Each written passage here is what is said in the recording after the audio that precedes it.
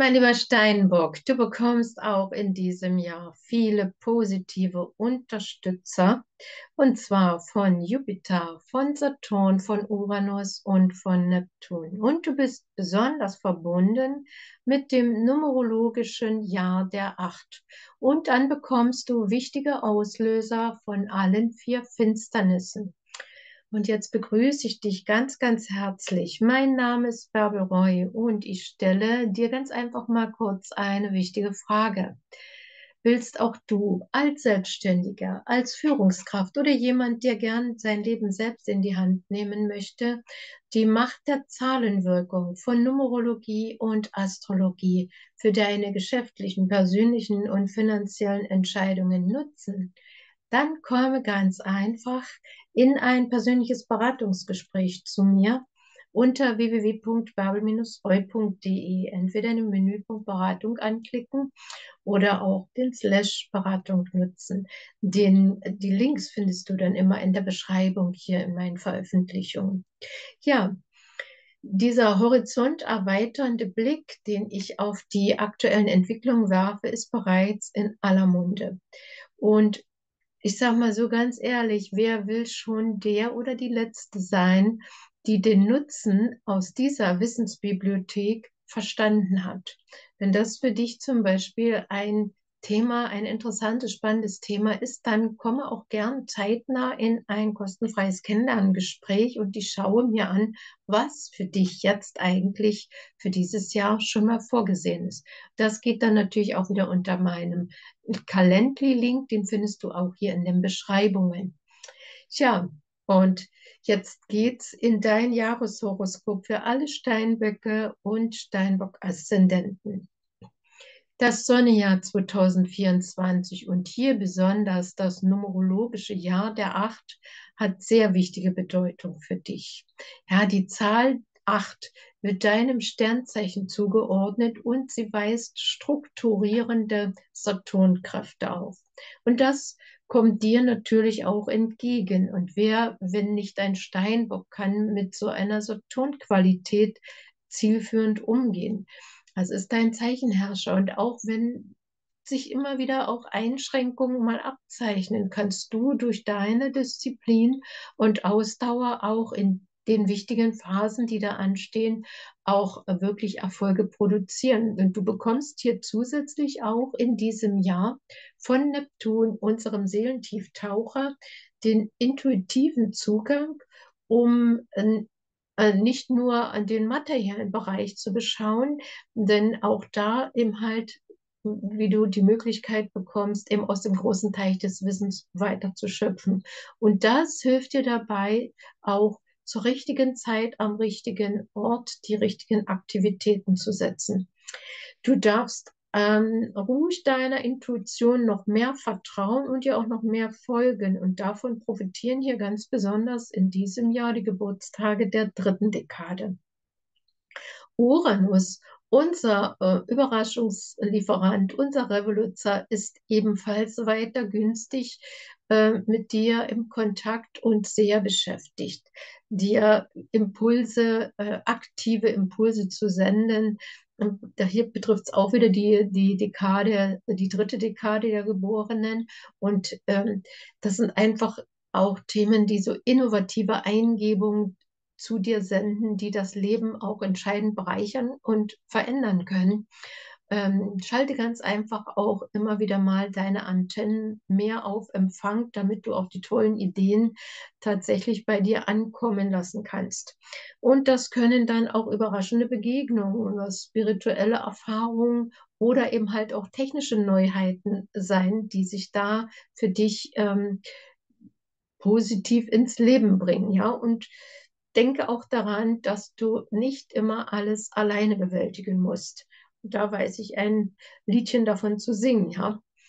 Die Geborenen der ersten und zweiten Dekade Steinbock bekommen einen hilfreichen Saturn an seine Seite. Und da, du kennst dich ja sehr gut aus mit Saturn, ist dein Zeichenherrscher und er gibt dir zusätzlich gute strategische Grundverständnissen, Organisationsfähigkeit, nochmal Ausdauer dazu und diszipliniertes Durchhaltevermögen. Und das so lange, bis du auch deine Ziele erreicht hast. Da, deine Führungsqualitäten stehen außer Frage. Und dann haben wir natürlich hier auch bis zum 25.05., äh, bis zum 26.05. den Glücksplaneten Jupiter im Stier noch günstig zu deinem Sternzeichen platziert. Und wenn du jetzt ähm, in die Aktion trittst, äh, dann hast du natürlich auch allerhand äh, wichtige Player an deiner Seite und auch wirklich glückliche Fügungen mit äh, von der Partie. Erwähnen möchte ich auch noch äh, unbedingt, dass die äh, Geburtstage, die letzten Geburtstage in der dritten Dekade, die vom 16.01. bis 20.01. noch einmal mit dem transformierenden Themen von Pluto konfrontiert werden in der Zeit vom 1.9. bis zum 19.11. In dieser Zeit wandert Pluto nochmal in den Steinbock und hier will nochmal der letzte Feinschliff getan werden, was den ganzen Transformationsprozess äh, betrifft, da, äh, damit auch endgültig die Themen, die da angestanden haben, zur Aufräumarbeit, zur Erneuerung abgeschlossen werden können. Ja, und nun mischen auch die Finsternisse in diesem Jahr nochmal richtig ordentlich mit und die liefern dir hier richtige Aufwacht, äh, äh also ein Aufwachpotenzial, Aufwachelemente. Die, das beginnt mit der Mondfinsternis vom 25.03., dann die Sonnenfinsternis am 8.04. und die Sonnenfinsternis am 2.10. Die sind äh, richtig ordentliche Antreiber für dich, damit äh, was in Bewegung kommen kann.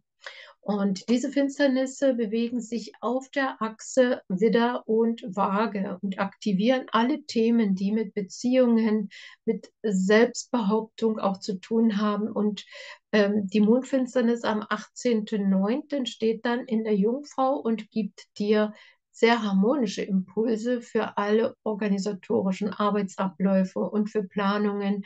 Da ist dann, da kann es nochmal in die nächste Energiestufe gehen für dich.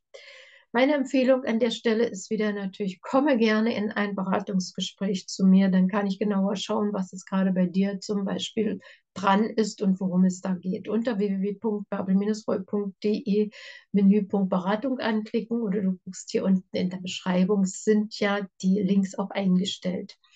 So, jetzt habe ich natürlich für dich auch die Zeiten der Liebe in 2024 und da ist Anfang, vom Anfang des Jahres bereits ähm, eine hilfreiche Zeit, wenn äh, 23.01 die bis zum 16.02. die Venus in deinem eigenen Zeichen unterwegs ist. Und das gibt dir natürlich auch zusätzlich stabile, ehrliche und verantwortungsvolle Impulse.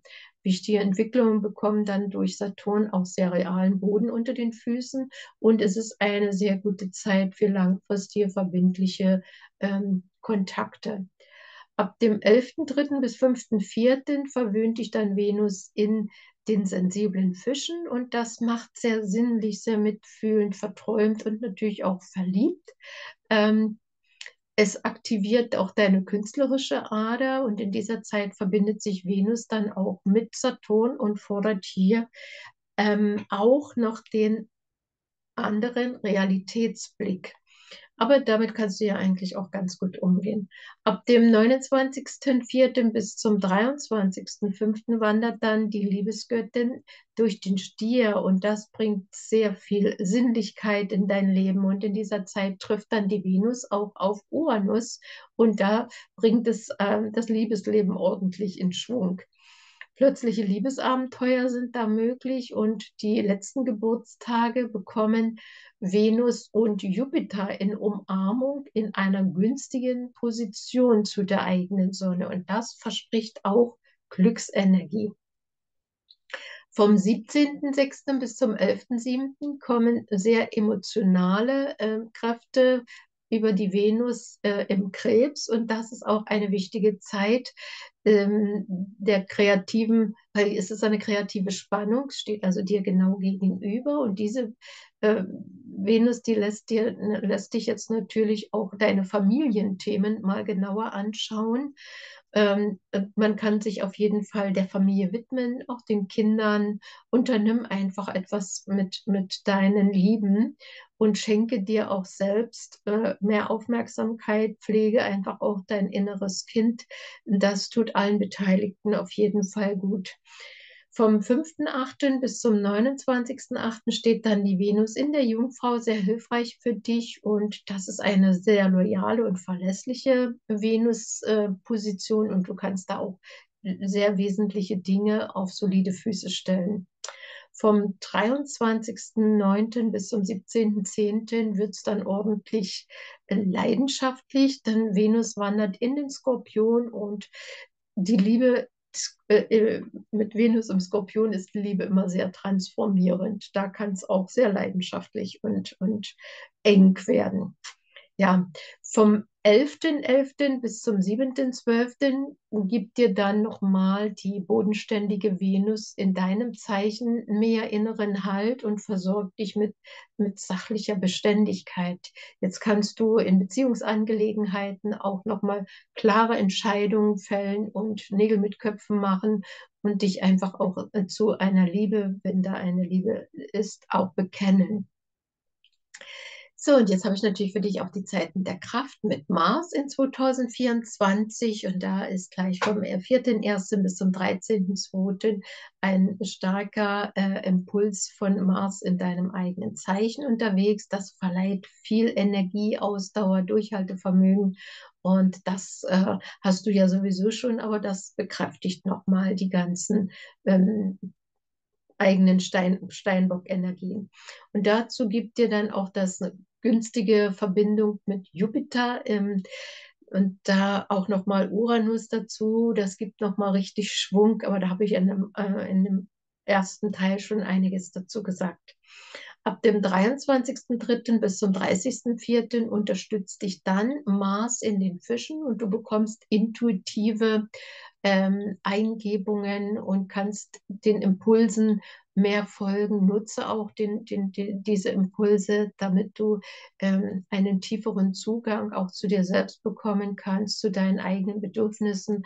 Und auch in dieser Position steht dir der Mars günstig zu Uranus und Jupiter und der unterstützt dich dann auch in deinen Maßnahmen. Warte einfach nicht zu lange, sondern geh einfach deinen Weg.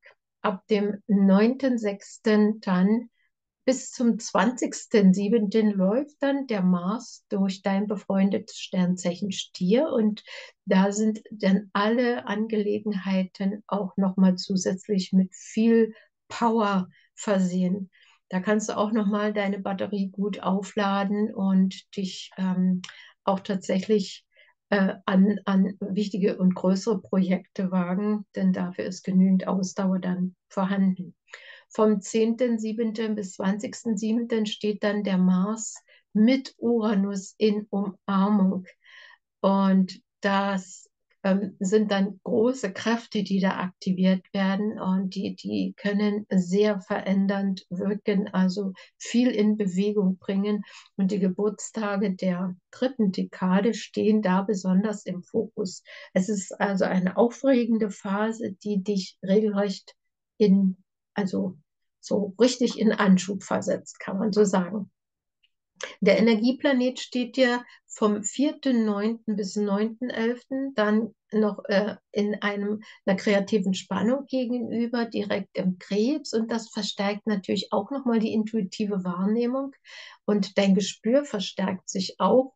Du musst nur gut damit umgehen lernen, denn im Krebs kann auch der Mars so ein bisschen launisch sein. Es kann also auch diese Anteile mitbringen. Lass dich inspirieren von den Fähigkeiten, die damit ähm, sich zeigen. Und dass du eben halt auch genau merkst, wann, wofür der richtige Zeitpunkt ist, denn diese Energie im Krebs aktiviert für dich diese, diese Wahrnehmungsfähigkeit. Das verstärkt auch zusätzlich die Regenerationskräfte. Ja, und jetzt nochmal der Tipp an dich, komme in ein Beratungsgespräch zu mir. Und da hast du natürlich die Möglichkeit, genauer zu schauen, was denn jetzt für dich dran ist. Oder in ein kostenfreies Kennenlerngespräch, wo ich auch erstmal, wo wir uns erstmal äh, begegnen können und du schaust, was für dich denn da mit deinem Beratungsgespräch vielleicht auch äh, an Möglichkeiten besteht. Ich habe ja auch äh, Coachings. Ich mache ähm, verschiedene Coachings im Angebot, ein vier Wochen, ein acht Wochen und ein zwölf Wochen Coaching. Da kannst du in ein Vorgespräch zu mir kommen, um zu schauen, ob du eine Begleitung für diese Zeit mit all den Themen, die wichtig sind, die du in die Welt bringen möchtest, dass diese dann auch wirklich punktuell mit Numerologie und Astrologie gut unterlegt sind. Ja, wir wollen ja mit der Energie gehen, damit der Schwung behalten bleibt. Ja, und an der Stelle beende ich jetzt meine Ausführungen für dich, für das neue Jahr, für dich, mein lieber Steinbock und Steinbock-Aszendenten. Und ich wünsche dir ein sehr erfolgreiches, ein kraftvolles, ein umsetzungsstarkes und ähm, ein Jahr, was dich wirklich in neue Dimensionen bringt. Das Sonnejahr 2024 soll es dann sein und das Jahr der Acht sei jetzt erstmal ganz, ganz herzlich gegrüßt von mir, Bärbel Reuth, deine Astrologin. Tschüss, mach's gut. Alles Liebe.